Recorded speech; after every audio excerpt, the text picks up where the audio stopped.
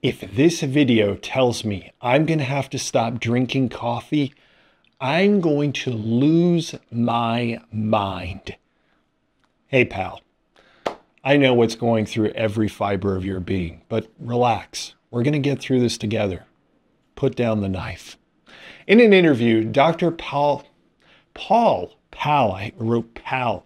Dr. Paul Saladino, a board certified physician with a board certification as a physician nutrition specialist, gave multiple reasons for why no one on earth should drink coffee for any reason. And if you're on the space station, I respect the dedication, but you aren't getting a pass either, cries an astronaut. Let's listen in and we'll pop open some studies to find out what's what.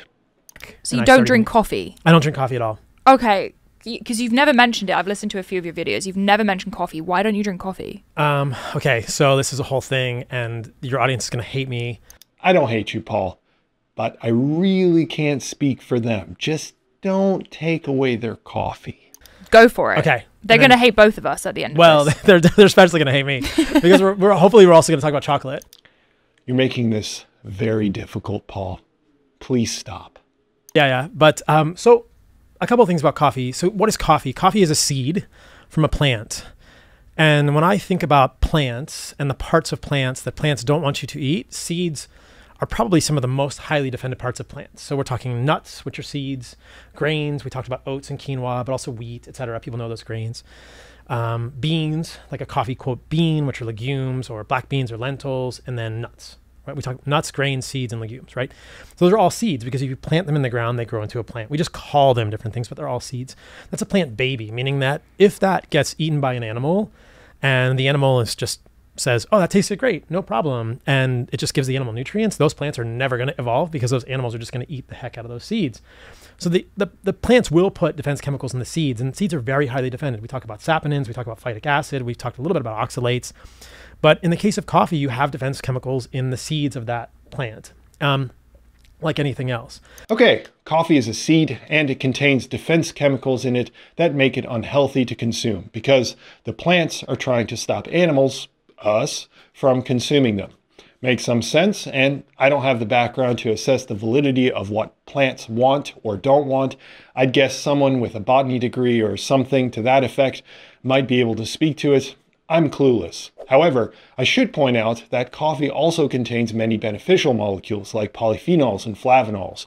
These molecules are intimately tied to improvements in our cells' functionality through the elimination of damaging molecules like free radicals by acting as antioxidants to increase the production of nitric oxide, which reduces blood pressure as well as reducing inflammation. One critically important one is chlorogenic acid, which has been shown many times over, according to that scientific review, to stimulate a potent antioxidant pathway in our cells called the NRF2 pathway.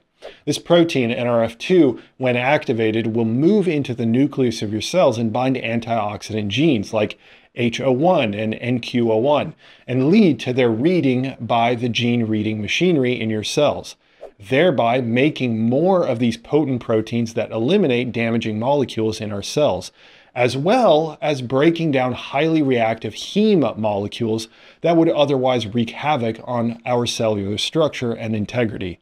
I'm massively glossing over the number of ways these flavonols and polyphenols have been directly shown to improve cellular function, but that's just a taste. Now, to be fair, we could do the exact same thing with some of the molecules that Dr. Saladino mentions because there are harmful molecules in coffee too. Fortunately, we can still get clear answers, which we'll get to. By the way, I'll reiterate that I don't have any background in how plants want to poison us and stop us from consuming them.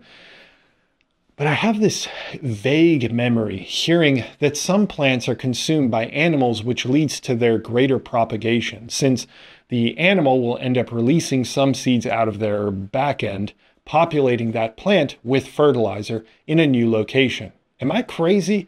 Again, not my area of expertise, but if you do have some background in this, I'd be keen to know if there's some merit to that idea. We'll consider it the anti-Saladonian plant hypothesis described by the ever clueless Professor Verhoeven.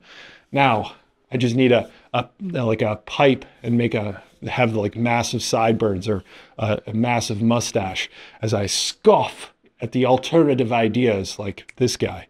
I have no idea who this is. Anyway, moving on, damn it. Caffeine is actually a defense chemical that the plant puts there.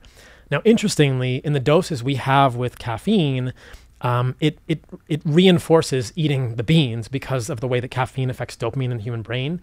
And who knows why this is, but it, it it's a problematic thing for humans, I think mostly from the perspective of sleep.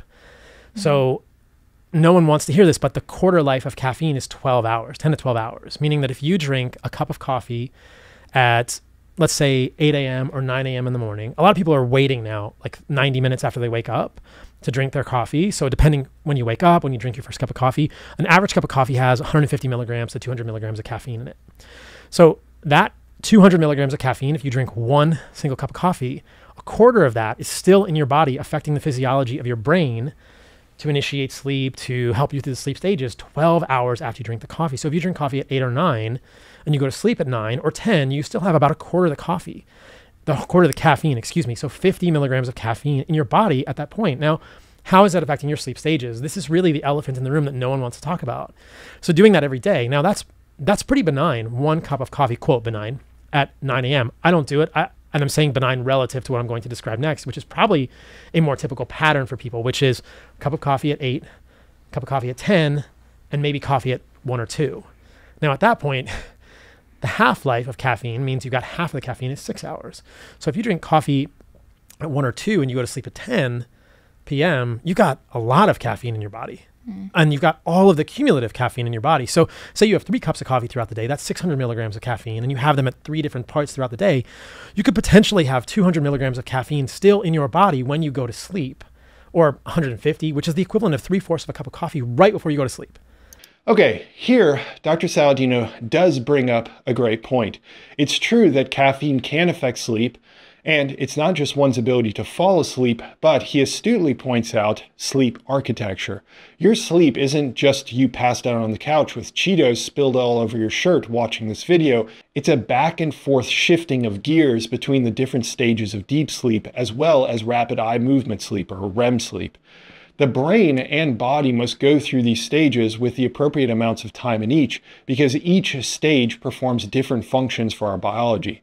It's a fascinating field of science that I hope to produce more investigations on in the future. But for now, just know that the caffeine molecule, due to its similarity to a sleep promoting molecule, adenosine, will bind to the same receptors as adenosine without activating them and outcompete adenosine, thereby blocking sleep. And even if sleep occurs, it might be a different architecture or quality. This is just one way. There are other mechanisms. So, to Dr. Saladino's point, if we look at this systematic review, the researchers compared people told to consume caffeine against people told not to consume caffeine, those that survived, that is. That was a joke. And we can see across multiple metrics of sleep architecture, the three different non-REM stages and the one REM stage, there are changes. Sleep efficiency is reduced. That's indicated because it moves to the left of that zero line there when people consume caffeine. There's also a bit more of stage one sleep and possibly reduced sleep stage three sleep. So Dr. Saladino is spot on. And Long term, poor sleep can manifest in a host of diseases. The most robust evidence is behind the total sleep, but there's some murmurings in relation to sleep architecture too. But I would be cautious about overinterpreting those data. Anyway, one easy solution then is to simply drink decaf, right? I mean, problem solved, except you still have to deal with the seed problem. We'll address that shortly. First, let's hear if decaf coffee, which is nonsense, might provide a solution. How do you feel about decaf? So decaf usually has much, much less caffeine. Mm-hmm. So you're doing a much better thing for your body, but there are still other problems with coffee and caffeine. Because right? it's still seeds at the end it's still a seed. There are mold toxins, right, in a lot of coffees, unless it's a wet That's process. what's scaring me right now. I feel like everything's moldy a lot of grains are moldy because you also get mold on oats. So that's right. back to the oats. We didn't even talk about that with oatmeal. Yet another reason not to eat oatmeal, even if it's organic oatmeal. Okay, mold in our coffee, mold in our oats. It's doing us all harm. Let me backtrack here a bit because there's some more discussion to be had on caffeine and sleep. I'm going to cover that in the extended version of this video that you're watching. So if you're interested in more scientific breakdowns, written research reviews, shortened summaries, templates, guides, live sessions with me, and more, consider joining the Physionic Insiders. You get all of that stuff in one place, not to mention the awesome community that's over there. Hope to talk with you over some moldy coffee over there, and the link is in the description if you care to join. Back to moldy coffee murdering us slowly. So, decaf coffee eliminates or drastically lessens the sleep issue, but it's still a seed, and now a moldy seed at that. Okay, this happens a lot on social media, but we get so focused on the mechanisms and side quests that we miss the forest for the trees. The real question is what happens when people consume coffee? Do they die more? Do they experience disease more often? The answer is no. If we look at long term, over decades of coffee consumption, and we compare people who don't drink coffee to people who do drink coffee, there's a reduced risk of cardiovascular mortality. And we can see that because the line goes down from the neutral one on the vertical axis with the coffee consumption on the horizontal axis. We see a similar result looking at death from all causes. Again, reduced risk. This is also after adjusting for many different explanatory factors. There are several randomized controlled trials on coffee as well. Some show seemingly negative effects, like increases in blood pressure, but there are also studies indicating overall benefits of cardiometabolic health.